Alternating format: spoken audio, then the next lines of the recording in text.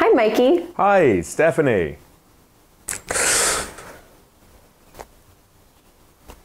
Well, this is awkward. Yeah, it is a bit. We've got nothing to talk about. That's right. I just have no idea what to say to you. I've got an idea. Oh, what's that? Let's do a lesson about how to have a conversation in English. Great idea. Looks like we really need it. Shall we start now? Yeah, why not? Hi, I'm Stephanie. Welcome to Oxford Online English. Do you find it difficult to start conversations in English? Do you feel that you don't know what you want to say? It's common. Speaking a foreign language is hard work. You have to remember foreign words, pronounce sounds which your mouth isn't used to, and now you have to build a conversation too. In this lesson, you'll see some simple, effective tips to help you start, develop, and end a conversation in English. Let's start at the very beginning. You'll see three easy ways to start a conversation in English. Hello, my name's Mikey. What's your name? Stephanie, nice to meet you. Where are you from, Stephanie? So, what did you think of the film? It was interesting. Does that mean you didn't like it? I'm glad I saw it, but I wouldn't watch it again. Oh, hey, I saw some of your pictures from your trip. They're amazing. Thanks for saying so. What kind of camera do you use? Actually, I just use my phone. First of all, if you don't know the other person, of course you should introduce yourself. It can be awkward if you start talking and then you realize an hour later that you don't know the other person's name. You saw three ways to start a conversation. What were they? 1. Ask a simple question. What's your name? Where are you from? What do you do? 2. Make a comment or ask a question about the situation you're in. That looks delicious. What is it? What did you think of the film? It's so cold in here. Is the heating broken? Great party, right? Who do you know here? 3. Compliment the other person. I love your top. Where did you get it? I thought your presentation was really interesting. Oh, you're Mikey? I've heard so many good things about you. Don't think too much about what you say first. When you start a conversation, it's more important to say something, even if it's something very simple. Easy, right? Introduce yourself, say something simple, and you've started a conversation. Next, you need to build the conversation. Where do you go from here? Hey, you're Stephanie, right? Yeah, Mikey? That's right. Peter told me you're in a band? Well, kind of. I play guitar and we just play together for fun. It's nothing serious. I play the guitar too, actually. Really? What kind of thing do you play? Actually, I play classical guitar. I just do it as a hobby. I'm not that good, but I enjoy it. That's the important thing. Anyway, how do you know Peter? We used to work together and we stayed in touch. Here, you saw three useful things you can do to build a conversation in English. Do you know what they were? They're all very simple. Anyone can use them. First idea, make a reference to something you have in common. For example, do you know that the other person is a football fan? Ask, who do you support? Or, did you see the City game on Sunday? Or, what's your prediction for the cup final next weekend? If you meet someone while you're traveling, you could ask, Where are you going to next? You went to Rome? Any recommendations? Do you know any good places to eat around here? We said that you saw three ways to continue a conversation. What's the second one? Ask the other person about themselves and their life. People generally like to talk about themselves, and they like it when other people are interested in them. So, this can be very effective. For example, your job sounds really difficult. How do you manage everything? I like your pictures. Is that in India? I heard you're really into cooking. What kind of stuff do you like to make? Finally, you can also continue the conversation by referring to someone you both know, like this. How do you know Lisa? Have you known Simon long? You work with Lee. I heard he can be quite difficult.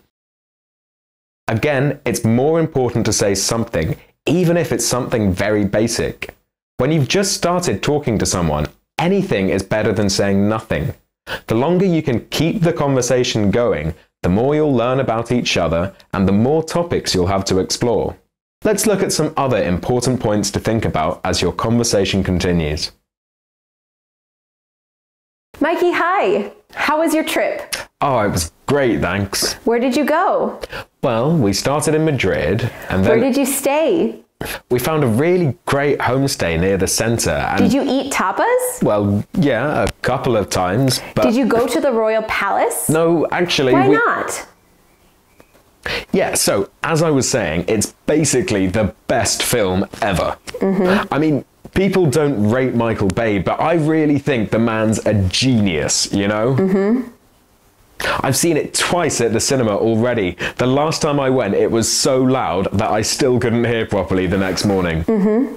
I'm still planning to see it again this weekend, though. I love it. Mm-hmm. You saw two conversations. I hope you realised that these were examples of what not to do when you want to build a conversation. What was the problem in each one? In both conversations, there was a lack of balance. In the first conversation, I was asking too many questions, and a conversation shouldn't sound like a police interrogation. In the second conversation, I spoke too much, even though Stephanie clearly wasn't interested in what I was talking about. What's the point here? For a successful conversation, you need balance. You need to balance asking questions and saying what you think. You need to balance speaking and listening. Let's look at how those conversations could have gone better. Mikey, hi. How was your trip? Oh, it was great, thanks. Where did you go? Well, we started in Madrid, and then we spent a few days in Andalusia. Wow, I love Madrid. What did you think of it? We really liked it. When we were there, we stayed at this really cool guest house near the Parque de El Retiro. Did you spend any time around there? Actually, we were staying a bit further out. We did walk past there, though. There are some great places farther out, too. What did you think of the food? Guess what I just saw? What? The new Transformers film. It's amazing. I really think Michael Bay is one of the best directors alive. Are you serious? What? You don't like his films? No. I think a good movie needs to be more than explosions and robots. Oh, that's a shame. I was hoping you'd come to the cinema with me to watch it. I thought you'd already seen it. Yeah, twice. The last time, the sound system was so loud that I couldn't hear properly the next morning. It was great. That doesn't sound healthy. Maybe you should go to a doctor's and you definitely shouldn't go see it again. Balancing your conversation helps you to keep the other person engaged, which means the conversation will flow easily and naturally. Anyway, let's talk about something else. Sometimes people complain to us about making conversation in English. I don't know what to talk about. Here's the thing you can talk about almost anything you want. Sometimes the other person isn't interested in what you're saying. Sometimes you're not interested in what the other person's saying. Sometimes neither of you are interested in what you're talking about. This is totally natural. So, what should you do? Change the topic, of course. Seen any good TV shows recently? Actually, I don't have a TV. Oh, so uh, what are you doing this weekend? Do you like traveling? Not really. When I don't have to work, I just stay at home. Anyway, whereabouts do you live? Yeah, I've had this really bad cough for weeks. All this green stuff keeps coming out of me. I don't know when it's going to stop. Mikey, I'm trying to eat. Can we please talk about something else? Oh, sorry. Changing the subject is easy. The easiest way is just to change the subject. If what you're talking about isn't going anywhere, ask a question or make a comment about something different. It's common to introduce a change of subject with a word like so or anyway. For example, so, what are you doing this weekend? Anyway, whereabouts do you live? If you're feeling uncomfortable with a conversation topic, you might clearly ask to change the subject. You can say something like, Can we talk about something else? Let's change the subject. I don't really want to talk about that. Remember, if you use phrases like these, you're clearly showing the other person that you're uncomfortable with the conversation. If you say something like this, make sure that you mean it. Finally, let's see one of the most important skills for having good conversations in English.